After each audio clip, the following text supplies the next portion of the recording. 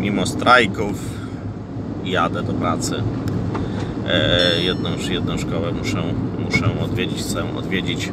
E, słuchajcie, temat dzisiejszy, bo dostałem jakieś dwa materiały na profilaktykę według Leszka, przy, które, które doszły i takie do, do, do, dość mnie zaciekawiło. Tak to powiem bardzo dyskretnie, dyplomatycznie. Pierwsza sprawa. E, Dwunastolatka chciała popełnić samobójstwo, kiedy rodzic przyszedł do szkoły. E, usłyszał od, e, ze strony szkoły informację, że to rodzice powinni tak bardziej zadbać o ten układ odpornościowy, tak emocjonalny, parafrazujący tekst dziecka. Trochę będzie skakało, bo dziury straszne są. E, I to pierwsza sprawa. I teraz na chwilkę się tu e, zajmijmy. Czy e, szkoła powinna coś w tym temacie zrobić? Jasne, udzielić pomocy psychped, tylko jeżeli to się dzieje poza godzinami lekcyjnymi, jeżeli to się dzieje e, gdzieś tam e, na Facebookach, no to szkoła nie może zrobić wjazdu na Facebooka, tak? Nie ma takich praw. I teraz druga sytuacja, z którą to było zestawione, dostałem zdjęcie, że gdzieś tam na jakimś portalu było zdjęcie, że naucz... A, bo tam było jeszcze z tamtą dziewczynką, że ktoś jej zrobił zdjęcie w szkole i tak dalej, i tak dalej. Ok, potępiamy takie zachowania, oceniamy je negatywnie. Zachowania nie ludzi, pamiętajmy, e, oceniamy to negatywnie, bo to jednak jest syf i tak dalej. Tak nie powinno się stać według, według e, jednych twierdzeń, tak? Natomiast stało się to, bo powinno, nie? A to, to, to już to zdanie moje znacie. I teraz zobaczcie. Dziecko zrobiło dziecku zdjęcie telefonem w szkole. Ok, gdzie była szkoła? Gdzie byli rodzice? Też można zapytać, tak? Dlaczego? Dlaczego dziecko e, zrobiło zdjęcie innemu dziecku? Bardzo dziwne zdjęcie, bo to nawet gdzieś tam na policję trafiło. Dlaczego dziecko zrobiło? Co, co szkoła zawiniła, że dziecko zrobiło zdjęcie? I teraz łączymy to ze screenem, jaki dostałem z jakiegoś portalu, mianowicie szkoła, e, uczeń ma prawo wyrażać swoje zdanie, swoje opinie co do metod nauczania, sposobów i tak. Spoko. Nauczyciel, uwaga, nie ma prawa ingerować w życie rodzinne i osobiste dziecka. Tak było tam napisane. Trzecia sprawa, nauczyciel nie ma prawa zabrać dziecku telefonu w myśl kodeksu, bla bla bla. Ok, gdzie tu jest sens? Gdzie tu jest sens? I teraz zobaczcie, gdzie była szkoła? Według tego, co przed chwilką powiedziałem, co dostałem na, y, na zdjęciu, które krąży po internecie, szkoła nie ma prawa mieć swojego zdania, nie ma prawa wnikać w sytuację rodzinną dziecka i nie ma prawa ingerować w rzeczy dziecka w postaci zabrania telefonu, jeżeli dziecko takowy posiada. Tamta sytuacja była bardzo prosta. Dziecko zrobiło dziecku zdjęcie, tak, a rodzice mieli pretensje, że szkoła nie zrobiła nic z hejtem w internecie. No, zobaczcie, między młotem a drugim młotem.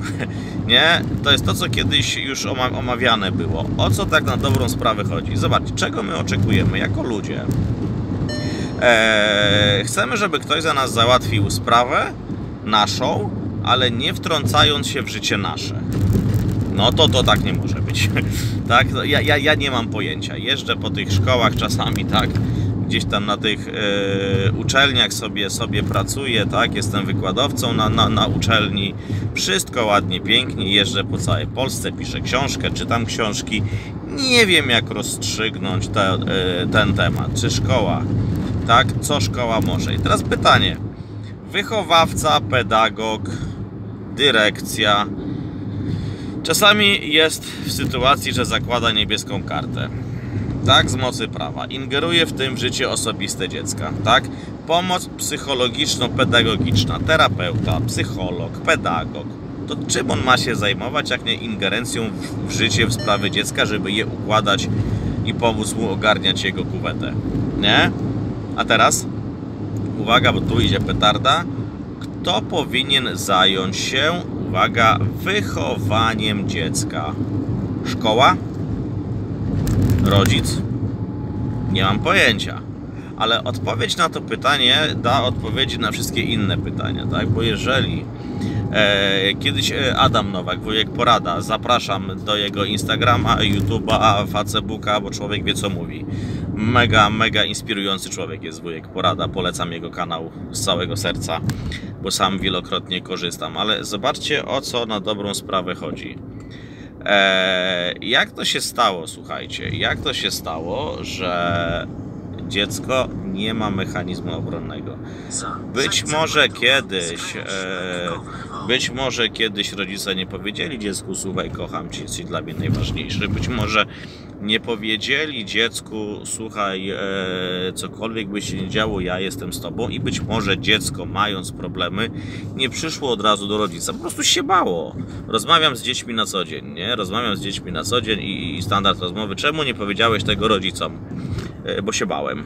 Okej, rodzica się bałeś? No tak, czemu? Albo rodzic by dał karę. Okej. Eee, pamiętacie to o tym e, sikaniu, nie? Jeżeli, jeżeli byśmy, e, jeżeli by, chce nam się do toalety, to jedyne o czym myślimy to toaleta. Tak samo jest tutaj. Dziecko ma potrzebę i gdzie się musi zaspokoić. Natomiast czy to nie działa tak, że zwalanie winy na szkołę zwalanie winy na szkołę to jest ten czwarty element wyporu. Zapraszam do poprzednich moich filmików, kiedy szukamy winnych na zewnątrz. Nie? To jest łatwiejsze, bo lepiej powiedzieć, że e, zostawiła mnie, bo jest głupia, niż to, że jej nie szanowałem, już ze mną nie wytrzymała. Tak? Bo jeżeli ja bym brał winę na siebie, to automatycznie ja czuję się źle, czuję się gorszy i tak dalej, i tak dalej. I zobaczcie, w tym tkwi sedno. Czy bronię w tym momencie szkoły? Trochę tak. Czy jestem całkowicie po stronie szkoły? Trochę nie.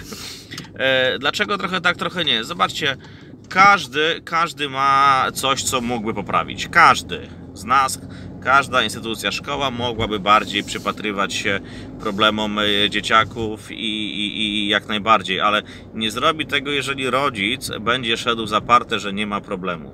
Wystarczy krótka informacja od rodzica. Szkoło, mamy problemy osobiste. To nie spowiedź. Mamy problemy osobiste, nasze dziecko może się zachowywać ciut inaczej.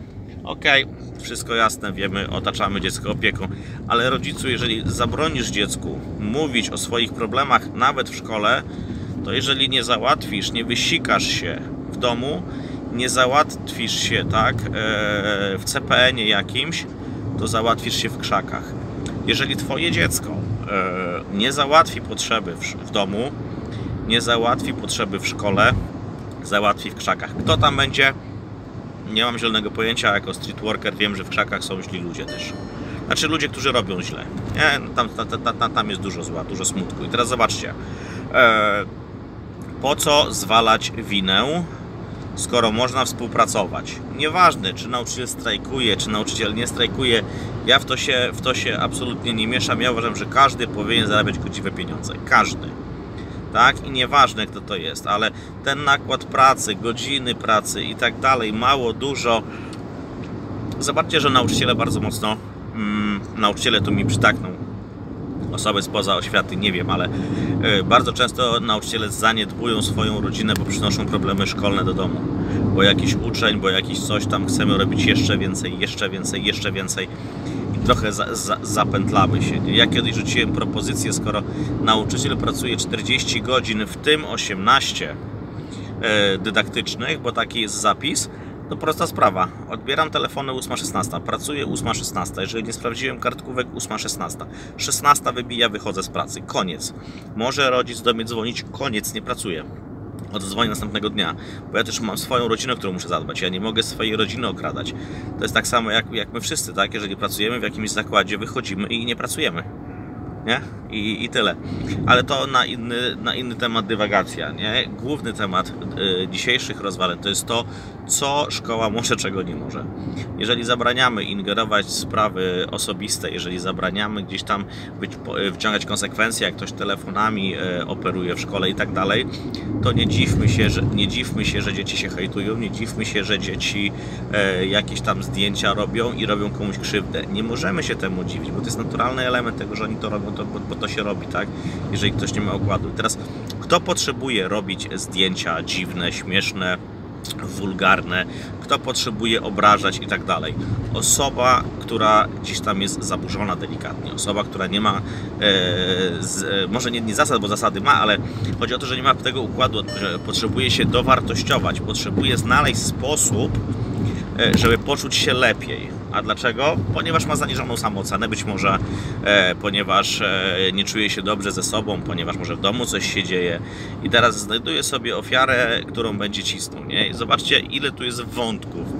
I nie możemy tego rozpatrywać przez pryzmat szkoła nic nie zrobiła, bo szkoła nic nie zrobi na Facebooku, bo nie ma do tego uprawnień i to jest fakt. A to, że uczeń, jeżeli by moje dziecko, jeżeli nauczyciel by zabrał mojemu dziecku telefon, wiecie co bym zrobił? Kompletnie nic. Nawet może podziękował, bo szkoła to jest miejsce, gdzie są relacje. Ja w ogóle jestem za tym, żeby w szkołach nie było telefonów, tak jak Francja zrobiła, że w szkole jest całkowity zakaz używania telefonów i to na szczeblu ministerialnym wyszło i nikt tego nie podważy. Rewelacja, ponieważ gdzie dzieci mają się nauczyć relacji z innymi dziećmi i tak dalej. Zobaczcie, pomyślcie o tym e, w wolnej chwili, ale to, czy e, nauczyciel ma prawo ingerować w życie osobiste ucznia, na zakończenie powiem tak, jeżeli ja jako pedagog nie ingerowałbym w życie ucznia, to bym wysyłał miliony wglądów w sytuację rodzinną, miliony rodzin zgłaszałbym, znaczy nie przesadzam z milionami, ale bym bardzo dużą ilość rodziców zgłaszał do sądu rodzinnego, żeby kuratorzy się rozpatrywali. Bo jeżeli ja widzę, że dziecko swoim zachowaniem pokazuje mi, że coś jest niehalo, to ja muszę to zbadać. Jeżeli tego nie zbadam, bo nie mogę, to ja to mam na swoim stanie, tak, w cudzysłowie, więc puszczam to do sądu rodzinnego albo do opieki społecznej i zobaczcie, to dopiero będzie paranoja. Nie lepiej współpracować? Trzymajcie się ciepło, a wszystkim gimbusom powodzenia w egzaminach.